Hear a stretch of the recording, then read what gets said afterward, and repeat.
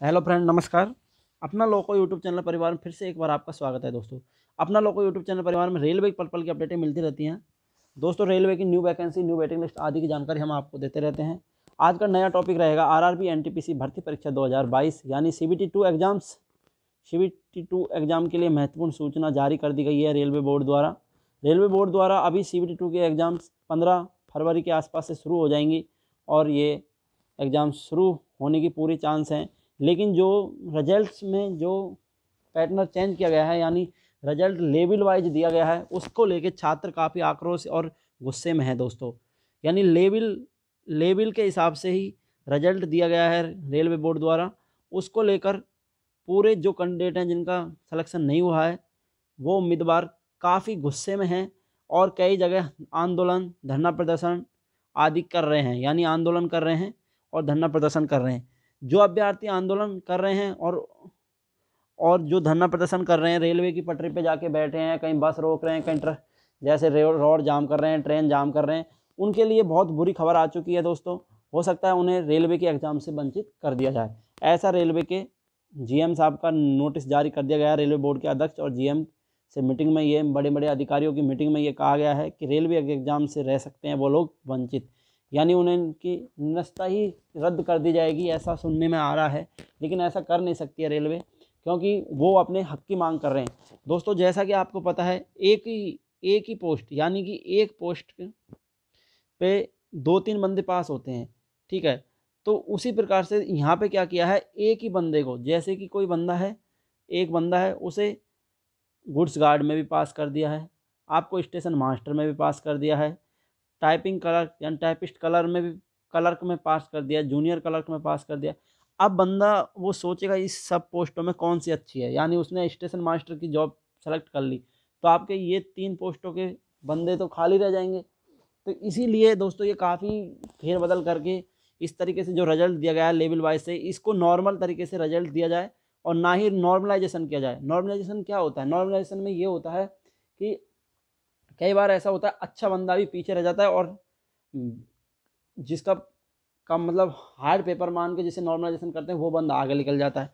तो इससे काफ़ी फ़र्क पड़ता है दोस्तों। इसी प्रकार से अगर रिज़ल्ट नॉर्मल आता है तो आपके कम से कम तीन से चार लाख कैंडिडेट और आपके सी टू एग्ज़ाम्स को बैठ, में बैठने के चांस मिल सकते हैं। यानी आपको सी टू एग्ज़ाम्स देने के चांस मिल सकते हैं। इसलिए दोस्तों, इसलिए ही उम्मीदवार, जो भी अभ्यर्थी हैं वो सी बी टी वन के बाद सी बी टी टू में नहीं बैठ रहे हैं। वो इसीलिए आक्रोश और गुस्से में है ताकि सी बी टी टू में उन्हें चांस दिया जाए। हो सकता है कई बार क्या होता है सी बी टी वन में मार्क्स कम रहते हैं, लेकिन वो सी बी टी टू में अच्छा टॉप कर जाता है, क्योंकि हो सकता है उसका पेपर अच्छे से आ जाए और उसे सी बी टी टू के अच्छे एग्ज़ाम्स मतलब तैयारी करने को मिल जाए। तो उसी के बीच आपके रेलवे भर्ती बोर्ड ने नोटिस जारी कर दिया है कि अगर जो भाई C B T two exams को लेके धरना प्रदर्शन कर रहे हैं, उनके लिए बहुत बुरी खबर है। दोस्तों, काफ़ी आक्रोश में है रेलवे सरकार भी, और आप भी इसमें थोड़ा सहयोग करें और इसको सूझबूझ करके थोड़ा एग्ज़ाम्स को होने दें या रद्द होगी, वो तो रेलवे बोर्ड फैसला लेगी, लेकिन ये नोटिस पढ़ के आपको आश्चर्यचकित रह जाओगे कि ऐसा हो सकता है क्या। लेके चलता हूँ मैं आपको ऑफिशियल लेटर पे, जो कि अभी कल परसों ही जारी किया गया है, पच्चीस एक दो हज़ार। इक्कीस को यानी पच्चीस तारीख को ये लेटर जारी किया गया है। तो चलते हैं आपको ऑफिशियल वेबसाइट पर ले चलता हूँ। तो दोस्तों, ये उसका ऑफिशियल लेटर है। भारत सरकार, रेलवे मंत्रालय, रेलवे भर्ती बोर्ड। भारत सरकार, रेलवे मंत्रालय, रेलवे भर्ती बोर्ड सूचना जारी कर दी गई है।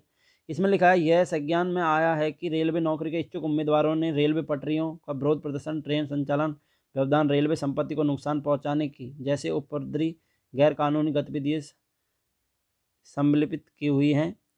इस तरह की गतिविधियों को उच्चतम स्तर से अनुशासनहीनता प्रदर्शित करती है, जो इस, जो ऐसे उम्मीदवारों को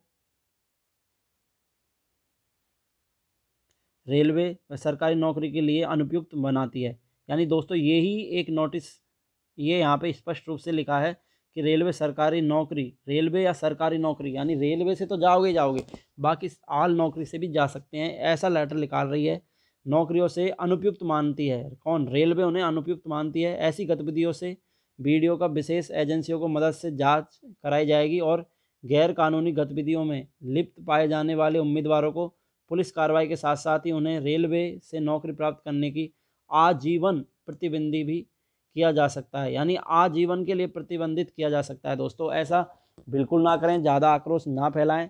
शांतिपूर्वक अपनी बात रखें रेलवे मंत्री बोर्ड को। रेलवे मंत्रालय को या रेलवे बोर्ड को और अपनी बात को शांतिपूर्वक मनवाएँ ताकि शांतिपूर्वक ये बात आगे तक जाए और मने। और इसमें काफ़ी कैंडिडेटों को फ़ायदा होगा इसमें। और इसी के साथ आगे लिखा है, सभी आरआरबी सत्यनिष्ठा के उच्चतम मानकों को मान, बनाए रखते हुए निष्पक्ष और पारदर्शी भर्ती प्रक्रिया संचालित करने के लिए प्रतिबद्ध है। रेलवे नौकरी के इच्छुक उम्मीदवार को सलाह दी जाती है कि वे गुमराह ना हो, या ऐसे ताव तत्वों के प्रभाव में ना आए, जो अपने स्वार्थ को पूरा करने के लिए उनको इस्तेमाल करने की कोशिश कर रहे हैं। तो दोस्तों, ये काफ़ी अच्छी सूचना दी है रेलवे भर्ती बोर्ड ने, और इसी के साथ ये सूचना दी थी पच्चीस एक दो हज़ार बाईस को, पच्चीस एक दो हज़ार बाईस यानी कल ही दी है आदर्श रेलवे भर्ती बोर्ड। तो दोस्तों, थोड़ा कृपया कर आप भी समझें, अगर रेलवे ने ऐसा कुछ सोचा होगा कि लेवल लेवल के हिसाब से अगर आपको रिज़ल्ट दिया है तो उसमें कुछ सोच के ही दिया होगा दोस्तों, उसमें कुछ न कुछ लॉजिक होगा, एक लॉजिक होता है, हर चीज़ कुछ भी नहीं आती है तो उसमें लॉजिक होता है। हो सकता है ये चीज़ अच्छी हो या ना हो, ये तो मैं कह नहीं सकता हूँ अभी। इसका रिज़ल्ट तो बाद में आपको पता लगेगा कि ये चीज़ अच्छी थी कि नहीं थी, लेकिन इतना ज़्यादा आक्रोश ना करें सभी अभ्यर्थियों से, निवेदन है आपसे हमारा। इतना ना करें रेलवे भर्ती बोर्ड की बात को, मान्य करें आप। हो सकता है आगे जाके आपको फ़ायदा मिल सकता है, या जो भी हो, लेकिन रेलवे भर्ती बोर्ड भी कुछ सोच समझ के ही इतना बड़ा फैसला लिया होगा। बाकी अगर ऐसा कुछ इसमें गड़बड़ रही होगी तो रेलवे बोर्ड इसे दोबारा से रिज़ल्ट दे सकता है। बाकी देखते हैं रेलवे भर्ती बोर्ड क्या करता है कि फरवरी में एग्ज़ाम शुरू करवाता है या फिर दोबारा से सी बी टी वन का रिज़ल्ट आएगा, रियल रिज़ल्ट आएगा या फिर इसी रिज़ल्ट पे एग्ज़ाम्स होगी। इसके बारे में मिलते हैं अगली वीडियो में कुछ नया जानकारी लेके आएँगे। तब तक के लिए नमस्कार, टाटा बाय बाय